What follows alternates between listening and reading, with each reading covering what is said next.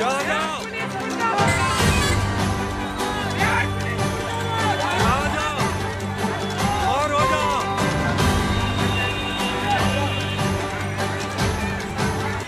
सुरक्षा के बीच बिहार विद्यालय परीक्षा समिति द्वारा आयोजित मैट्रिक आज से शुरू हो गई है। इंटर परीक्षा की तरह मैट्रिक परीक्षा में भी विलंब से आने वाले परीक्षार्थियों को एंट्री नहीं दिया गया। बिहार शरीफ के किसान कॉलेज में परीक्षार्थी गेट फांद कर परीक्षा भवन में जाने का प्रयास करते देखे गए। परीक्षा का आयोजन 22 फरवरी तक दो पालियों में की जाएगी। बिहार विद्यालय परीक्षा समिति द्वारा निर्देश के अनुसार परीक्षा प्रारंभ होने से 30 मिनट पहले ही परीक्षार्थियों को परीक्षा केंद्र में प्रवेश की अनुमति होगी।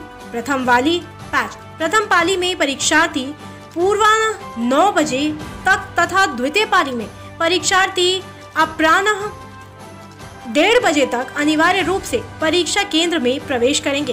इसके बाद परीक्षार्थी को परीक्षा केंद्र में प्रवेश की अनुमति नहीं रहेगी। परीक्षा केंद्र में जूता मोजा पहनकर परीक्षार्थियों का प्रवेश वर्जित होगा। परीक्षार्थी केवल चप्पल, सैंडल पहनकर ही परीक्षा केंद्र में प्रवेश कर सकेंगे।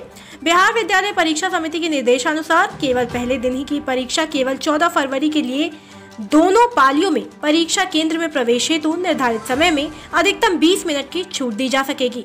अर्थात प्रथम पाली में पूर्वाह नौ बीस बजे तक तथा दूसरी पाली में अपराह्न डेढ़ एक पचास बजे तक प्रवेश की अनुमति दी जाएगी।